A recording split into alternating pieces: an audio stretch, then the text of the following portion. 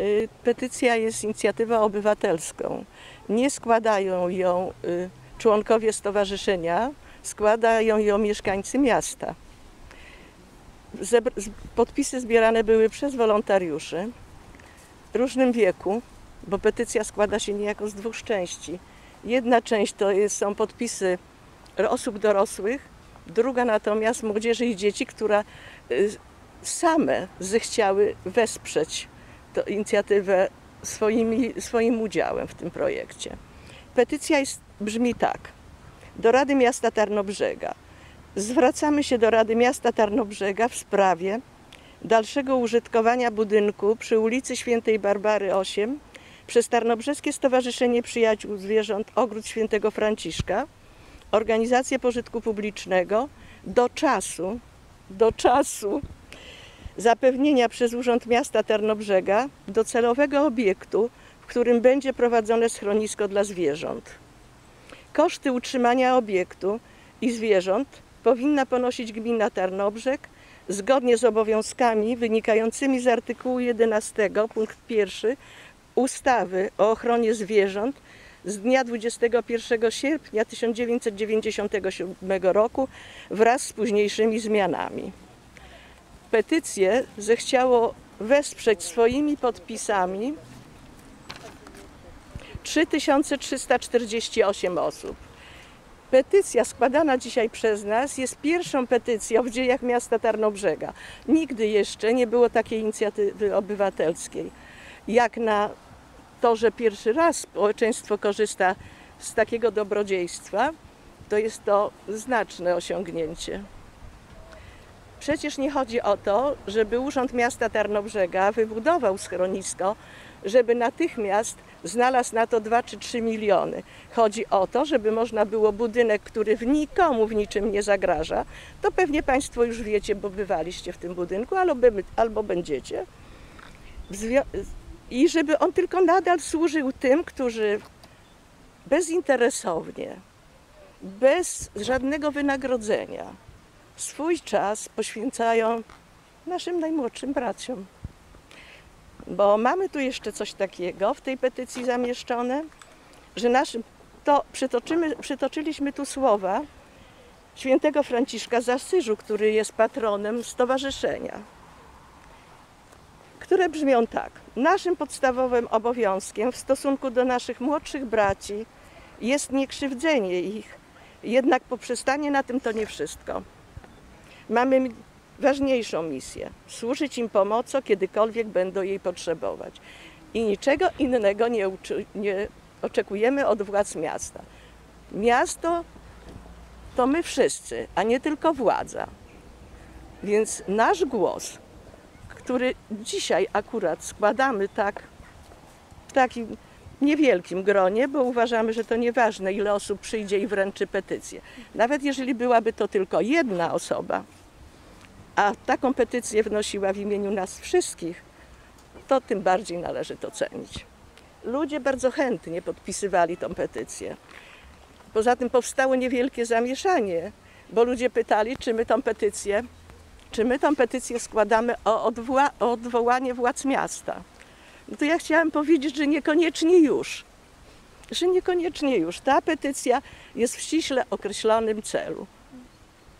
Tak jak na początku powiedziałam. Jeżeli Państwo coś jeszcze chcą wiedzieć, to bardzo proszę. Petycję jeszcze raz powtórzę, że podpisało 3348 osób. I- i- Ja jestem mieszkanką. Tak, wolontariuszką, oczywiście, że tak. Przy czym zaadoptowałam kiedyś zwierzęta, y, które poprzez to stowarzyszenie. Ile czasu zajęło zebranie? Bardzo krótko, proszę pana, ponieważ my, dzieci chodzą do szkoły, my pracujemy, ci, bo więcej osób zbierało te podpisy. W związku z tym mogliśmy poświęcić na to tylko nasz czas popołudniami. To trwało od 2 października. 4 października wspierały nas kościoły w, tym, w tej inicjatywie zbierania podpisów. Były to y, kościół pod wezwaniem Chrystusa Króla na osiedlu przy Wiśle oraz kościół na Serbinowie. Matki Boskiej Nieustającej Matki Pomocy. Boskiej Nieustającej Pomocy. Wszyscy dostrzegają potrzebę zapewnienia takiego azylu dla zwierząt, bo to nie jest tylko sprawa bezpańskich psów porzuconych, to jest sprawa także ludzi starych, którzy na ostatnie miesiące czy lata swojego życia wybierają sobie takiego przyjaciela, do którego można powiedzieć coś, poskarżyć się, a ponadto to jest y, przyjaciel, który na pewno nie powie przeciwko człowiekowi niczego. A nawet jak jest skarcony, to i tak przychodzi i liże rękę. I to jest potrzeba takiego, ta potrzeba azylu wynika z tego, że po śmierci właścicieli zwierząt trzeba je, im zapewnić godziwy byt. Trzeba ich przytulić, trzeba ich nakarmić, żeby także spokojnie mogły doczekać swojego końca. Problem ochrony zwierząt i opieki nad nimi jest naprawdę niezwykle złożony. I wcale nie dotyczy tylko i wyłącznie pieniędzy. Dotychczas stowarzyszenie, które działa już od którego roku? 2006 roku. Od 2006 roku nigdy nie wyciągało rąk do miasta. Jeżeli tak, to były tylko nieznaczące wpłaty związane z leczeniem zwierząt, bo na to już stowarzyszenie naprawdę pozwolić sobie nie miało.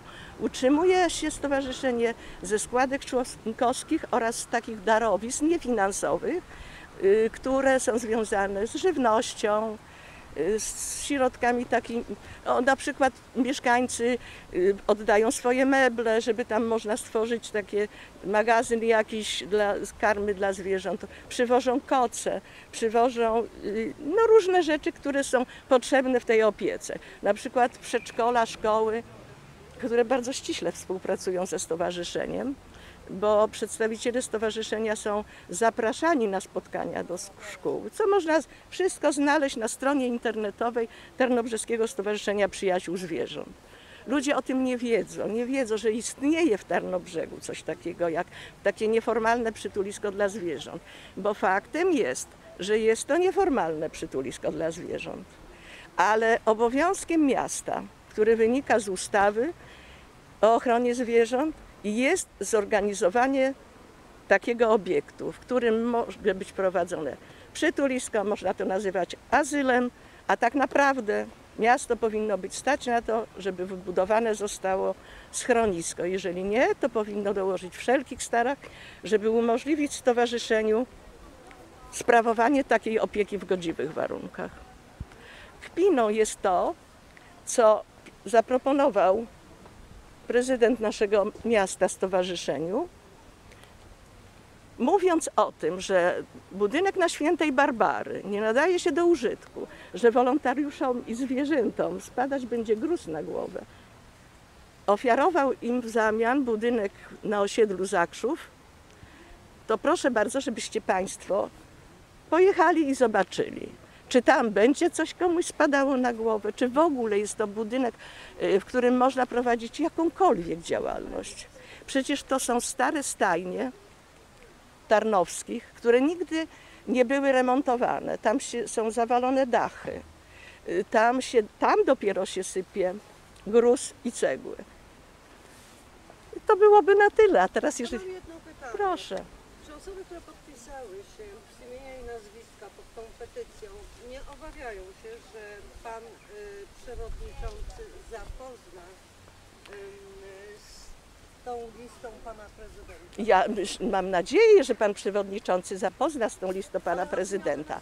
Ale nie ludzie podpisywali to, wpisywali swoje PESEL-ie. Część, która mm, z racji wieku nie pamiętała swojego PESEL-u, a nie miała ze sobą dokumentów, to podpisywała, wpisywała adres.